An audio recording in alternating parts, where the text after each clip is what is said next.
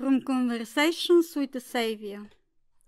I wish this grain within me, this tiny seed of my faith in you, my God, could shine like a string of gold, like a ray of your sunrise, or grow like a pink flower blossoming within the garden of the dawn.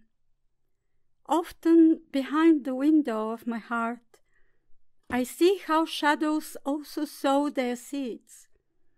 I see the sleeping eyes of careless days, of nights that slowly disappear. And then, by seeing, the voice of silence speaks to me, and through the words that strangely form, I read the time in your worlds, my God of love. In contemplation, I read the life of every fate in you.